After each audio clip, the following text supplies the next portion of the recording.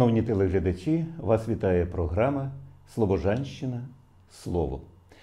І от хочу розпочати з вірша гостя сьогоднішньої програми, який зовсім до Слобожанщини начебто не має відношення. З екватора у світ я крикнув: Мамо, тут сонце, як у нашому селі, веселі прилітають журавлі, на небесах друкують телеграми, як бубни наші гупають тамтами, то джунглі закликають звіддалік. На цьому березі, мов на сулі, лягли хмарки блакитними мостами. Отже, гість нашої програми Іван Перепеляк, харківський поет, перекладач, есеїст, член Національної спілки письменників України. Вітаю вас, Івана Михайловичу. І отже, екватор це теж частина вашого життя, вашого слобожанина життя. Ви бували і на Кубі, ви особисто були знайомі з Ернесто Чегеварою. Так? Так. А як, як ви туди потрапили? Я учасник бойових дій. От. Коли нас переодягли, я сам моряк-підводник, переодягли у цивільне, посадили на корабель і через Атлантику у ті, у ті краї. Це ж було дуже давно, це була юність, коли все сприймалося з особливим почуттям. Світ відкривав я через Кубу в якійсь мірі, коли тут ще глухота була особлива. От. А там і телебачення, і ну, не тільки Європа, там весь світ. Е, так що я там був інструктором радіотелеграфістів. Кубинців навчали азбуку Морза, от, е, вели літаки. Не буду назвати, бо ми зараз дружимо з усім світом, які літаки там літали. От, е, Так що ото там я відкрив світ. От, Там я бачив Ернеста Чегевару, Фіделя Кастро. Там я бачив красивих жінок. Вони не кращі, ніж українки, до речі, але красиві жінки також. Е, Я про Ернеста Чегвору написав поему, так і називається Кубинська поема. Е, Бачив не раз його живим. От, Він приїздив у наше містечко військове. А у ваших книжках тут є кубинська поема? Є. В якій? Є, як у, пер, у першому томі. Ось. Стій, Чегвара, куди ти йдеш? У пітьму? Хіба ти не бачиш поблизу прірва? Чи можна у горах дорогу знайти пряму? Якщо й знайдеш, пройти неймовірно. Довкола скелі гострі пройти не дадуть. Збагни наївну мрію Дон Кіхота, чи ти навмисне шукаєш роковану путь, яка веде до ешафота? Зупинись, Чегвара, не прагне дійти до кінця. Там на тебе давно прилаштована пастка. Зрозумій, що для тебе чужі ці місця, і ще півкроку, й ти можеш упасти. Ну, покайся при всіх, що, мовляв, заблукав. Ця дорога тебе завела недоречно. Поясни, що подібного не чекав. Відступися, ти не предтеча. Ти хотів, щоб грозою тобі відповів небокрай, щоб камінні здвигнулися скелі. Тільки в цьому краю на дощі не врожай, німіє пустеля. Повернися назад, де знайшов ти любов і жіночу залишив ласку. Ти всього лиш людина, не чорт і не Бог. Повернися, будь ласка. Ні, не можеш. Чи гордість тобі не дає, відступись однорібного бою. Якщо так, то хай доля тоді виграє. Я також йду за тобою. Ви знаєте, Іван Михайловичу, у цій поезії відчувається ритмика латиноамериканських пісень. От ви знаєте, типу там Аванте Пополо, Аля Скоссо, Не знаю. Бам'єре Россо, Бам'єре Россо. Тобто такий рвучкий, рвучкий стиль. Ну, тут така ситуація. До речі, кажучи, е, Че Гевара, щоб на цьому якось припинити розмову з Че Гевара, написав листи. От, прощальні, і Фіделю Кастро, і дружині своїй. От. І е, Тобто розумів, що його чекає. він розумів, що чекає. Е, Хто після цієї зустрічі зацікавиться Че Геварою, бо багато ходить з Чегеварою, значить, портретом. Е, В нашій бібліотеці, е, значить, Харківській Короленка, є е, Болівійський щоденник. Він вів щоденник. Взагалі йому пропонували Ніколас Гільєн, це прекрасний поет кубинський, пропонував йому стати членом спілки письменників. От, Так що він володів словом. І що було, коли він пішов, зібрав групу, він хотів е, зробити революцію в Латинській Америці. Тому до нього відношення різні були. От Вони сьогодні, і навіть на основі цього Куба і Америка сперечалися, там зараз помирилися, я дивлюся, вони вже спілкуються, відкрило посольство американське. Так що Че Гевара взагалі це, коли всю поему, на жаль, не можемо її в цій передачі прочитати, е, це людина, яка його порівнювали навіть з Ісусом Христом, що Він віддав своє життя заради того він проти ідеї. проти багатих. Заради ідеї. Так, заради ідеї. А останнім часом щось написалося? Звичайно. Можете почитати? Я видав вже десь близько 30 книг. От. Е, тому я е, ось оцей недавно видане, це недавно написані вірші. От, е, Я не сподівався, що ми почнемо з Ернеста Чегевари, я почну з філософії. Ви розумієте, зараз, коли нема цензури, зараз, коли пиши, що хочеш, як хочеш, вільно, ну, якась дрібнотем'я в нашій поезії, в нашій літературі, і молоді, талановиті, наче, от, е, освічені, але, але. Так ось, я прочитаю кілька сонетів варіації за книгою Еклезіаста. Еклезіаст біблійний, ви знаєте. І ось тоді під сонцем справді я побачив коли по колу обійшов Єрусалим, що перемога дістається непрудким, сильніших бігунів спітка невдача. Не віднайшов свого я щастя у гонитві, хоч жару вдосталь у житті розгріб, не завжди мудрим дістається хліб, як і хоробрим перемога в битві. Тоді скажіть, який є сенс в батрацтві, коли навкруг підступність і обман, коли цілитель стогне сам від ран, а волю хто дає, той сам у рабстві. Багато в світі бачив я гримас, та кожний з них випадок свій і час. Я думаю, що зараз треба е, глибше і більше людям задивлятися в свою душу, не піддаватися тому ритму, ритм скажений. От, і Не встиг.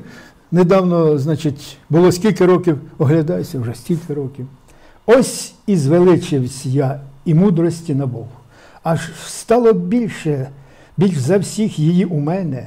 В Єрусалимі знався я ученим, бо й справді вже чимало знань збагнув. Але чим далі все я пізнавав, тим більше додавалось і печалі, йдучи у відкриттях все далі й далі. Я додавав скорботи до забав. Забув я серце, стиснувши на мить. Мене настигне те, що і другого. Я мудрим став тільки для чого, як порожнеча голос мій гнітить. Кажу вже світ пройшовши навпростець, і в дурня й мудреця один кінець. Ще один сонет марнота все, марнота наймарніша, сказав еклезіаст в тяжку годину, що в світ приховує, що в нім життя людини, в чим гіркота душі, що від ночей чорніша. А ти гадаєш, що життя мудріше за інших? Адже першу взяв вершину, уже дістався нового вища чину, і світ гидкий зробився ласкавішим. Буденності своєї рвеш кайдання, і нову вершину мітиш без вагання. Хоча були такі вже марафонці, ну і що? Життя зняло з очей полуду, марнотних днів відкрилася Оуда, і нічого не змінилося під сонцем. Зараз тільки от таке філософське пишеться, чи лірика також? Розумієте, лірика писалася, от, яку я можу прочитати, ось, е, значить, пізніше. Життя з досвідом е, мудріша душа кажуть. З досвідом людина набуває якихось інших поглядів на життя. От. Тому вірші не можна сказати, ага, напиши оце щось. Тобто події і весь світ е, бачаться зразу не серцем, а розумом. І душею. Пишеться людина від стану. Тут ви помітили у мене ось поема Григорій Сковорода, ось сонети, е, значить, полтавські сонети, от, судний день, біблійний. От. Он остання любов гетьмана, Мазепа і любов до Матрони. Моєї радості печаль це більше про любов.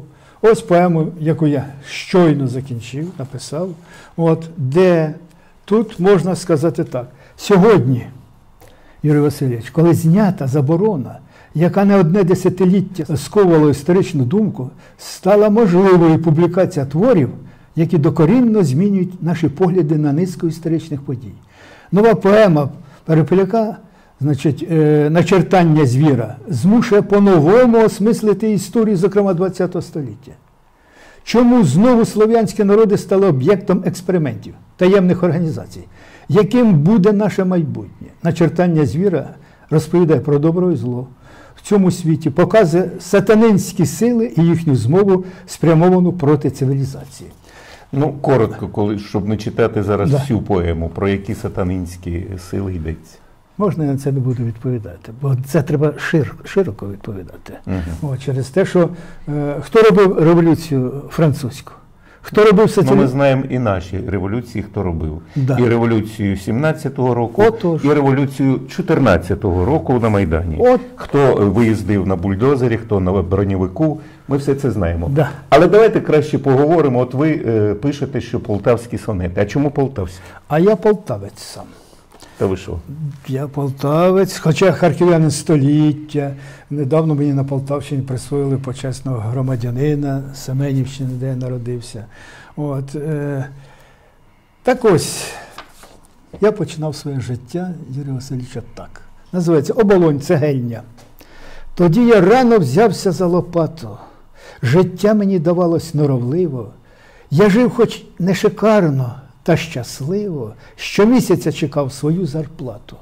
Ще підлітком сказав би я по блату, мені дали роботу, і важливо, що втім свою я бачив перспективу, тому, не покладаючись, горбатив. З лопатою важкою у кар'єрі. Я починав письменницьку кар'єру, та у моїй душі не гнувся раб. Лише робота і її відлунність, а право мого, мого входження у юність скупим карбованцем сплатив прораб. Я платував, працював на цегельні з 5, 6, 7 і до 9, а потім вже закінчив школу. да? Да, класу. З 5 класу от, працював на цегельні. От, тому тут історія. П'ятий клас це 12-13 річна Так, дитина. так, так, так, так. От, е, цеглу випалювали, залазили в оту цегельню, значить, хоча платили, е, значить, гривню чи карбованість платили, а тоді карбованість був трошки інший.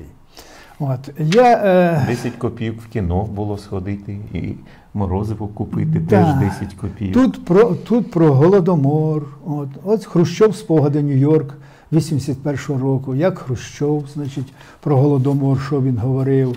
От, от. З цього тут я прочитаю страшний сонет. От. Але е, це було. Я збирав матеріали на Полтавщині от, і на Харківщині. Є така Зеленківка на Полтавщині, називається Відьма. Прийшли уповноважені. Для чого? Уже і крихти в хаті не знайти, сухарик чорний, що дістався від Бога, і той забрали. Всім теши хрести, собак поїли. Залишилися коти, тепер їх не докличешся у хату, і відьмою в кутку принишкла мати, до якої страшно підійти. А діти де? І ще ж були до Спаса. І звідки в тебе повна діжка м'яса, куди від печі ділись рогачі? Знайшли таки, хоч і на це шукали. Кістки дитячі в грубці замість сала, дві смалені голівки у печі. Це документи, як кажуть Полтавщини, що було під час голодомору. Я завинив. У чим? Прости, о Боже. Завіщо каюся, не знаю й сам, чи збавлюсь від гріха. Хто допоможе, яка дорога приведе у храм? Я каюся, не каються убивці, я каюся, але ж мовчать вожді. Оглянься на криваву косовицю, почуй хоч зараз, як не чув тоді. За що гріхи на душу? Хіба щоб кровоточила душа? О Господи, за що каратись мушу, кого мій крик у світі потіша? Схитни в своєму храмі без гомінь, і не сплутай грішне з праведним. Амінь. Ну, ось це такі полтавські сонети. Е, Це ж я бач, почав вам. е, Хорошо, от ми трошки говорили про як я плів на Кубу. Бермудський трикутник. От про нього е, багато ми вже значули. Все. У мене є такий сонет. Трикутник смерті. Кажуть ще море вуду. Ми входимо в пекельне чорне коло, чиясь рука завмерла з валідолом, схопившись за роздерті страхом груди. І ось вже очі заступа полуда, і небо впало навзнак од розколу, і тягне світ у прірву, хмари волок, і чорні хвилі дибки звідусюди, в чистилищі проклятому канаєм, куди потрапимо за мить, не знаєм. Чи в пекло, а чи в рай нас поведе Всевишній, він вийде із судейської палати, помилувати когось, когось скарати і блискавкою вирок свій підпише. Оце такий бермудський трикутник я бачу. От, Де там, е, ви знаєте, скільки ці. А ось, бач, ми заговорили, земля. Я е, коли їхав на Кубу, чи коли везли на Кубу, от, е, ми цивільну е, цивіль, е, військову одежу у речовий мішок ми ховали. От, значить, І, напевне, як кажуть, підбори до підбори десь прилипла була земля. От. Коли я в каптюрці тут, я цю землю значить, відколупав, приніс на тарильці в казармі поставив. От вони кажуть, як хлопці дивилися, яка земля, на кубі коричнева земля. От. Ага. На березі чужому у вімлі.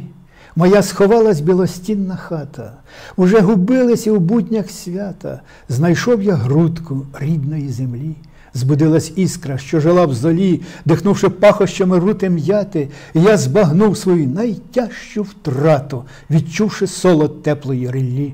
О, квіт землі, і обійма тривога, його ніде не бачив я такого, як у своїй полтавській стороні. Це наша хлопці, і розкрив долоні, і сльози душу пропекли мені, як землю цілували з оболоні. Тому ж, бачите, полтавські сонети, бо та оболонь. Як я зустрів корабель Полтава в Голландському порту. Це ви казали юнацьке, от от вам юнацьке. Кораблів тісняться каравани, що прийшли за три дев'ять морів, на причалі сонячнім гавани, я між них свою Полтаву стрів. Здрасту, рідна, скільки днів між нами бурями розведено мости. Я стою із бентежено руками, гладжу алебастрою борти. Завтра в путь для тебе це вже звично. Ти у пекло штормів Атлантичних, у нові незвідані краї, де не посідають грози стрічні. Я стою на березі тропічнім, та мої з тобою якорі. Так що я патріот, бачите, ще з дитинства виявився. Бо на Кубі це мені було 19 Скільки? 19? 19 років. Да, екватор, от ви прочитали там екватор, от як воно де там, але ось який екватор у мене. З екватора у, світі я крикнув Мамо. Тут сонце, як у нашому селі, веселі прилітають журавлі, на небесах друкують телеграми. Як бубни наші губою там Таке ж це ж цей же Та тут в кінці там, а ти ага. не віриш, що земля чужа закінчує тут. І все питаєш, де ота межа, яку ще не встигли розорати? Коли про все напишеш ти мені, я відкладав усі листи сумні, а про мою печаль вгадала мати. Розумієте, тут от е, такі моменти. Ну, от про матір я згадав. Ласкавим усміхом, матері називається вірш, ласкавим усміхом, весняною зорею, в долоні найріднішу упаду, я долею просвітлений твоєю, беру в дорогу щастя і біду, з твоїх очей із сивої криниці, усю печаль я виберу до дна, знов смуток зацілую у зіницях, що горе залишило і війна. Для світла я віконниці відкрию, прийшовши в тиху днину й буровій, твою жалобу, мамо, розумію, так рано став землею батько мій. Зігрій мене усяйві доброти, зніми найтяжче із душі, прости. Україна називається вірш. Повідомляючи про смерть князя Володимира Глібовича 1187 року, літописець зазначає, за ним багато Україна тужила. Це була перша згадка, згадана назва Україна в літописах. 1187 року Україна вперше була згадана. Україна, де твої гуни, готи і авари? Історія. Ти ж нині більше, ніж наука. З твоїх скрижалів витираю я пилюку, аби на них не залишилось злота чвари. Були і половці, і монголи, і татари, а прийде хто іще? немає запоруки. Грім, блискавка, не вклякнем од розпуки. І вже стін моїх не залякають пожаром. В цім тліннім світі щось таке я значу. Тож сам собі кажу, ти знав, бідаче, і скруту погорільця й зок руїни, зой круїни. Тож стій перед Європою пригордо. Тобі тіякі не страшні вже орди, бо є, була і буде Україна. І от коли ми сьогодні дивимося, як наші солдатики, патріоти, от, е, е, значить, ви знаєте, я ж багато маю козацький монастир, е, поема значить, про козацтво, що то гени оті, дух козацький. І мені хочеться прощати ось оцей вірш, який я присвятив солдатам, які зараз захищають наші кордони, де місяць пада шаблею на воду, і в небесах спинаються зірки, вогонь свого успадкувавши роду, спішу до вас, я, хлопці, козаки. У два століття стелиться дорога, досвітна зора, шлях мій освіти, мене чекає воля на підмогу, як не дійду, тому що доповсти. Втомився кінь, упав на переправі, уже степами навпростець бреду, хай сил у вас лишається замало. Постійте, хлопці, поки я прийду, хай ніч не зморить втомою важкою. І не страшить нахмуреність небес.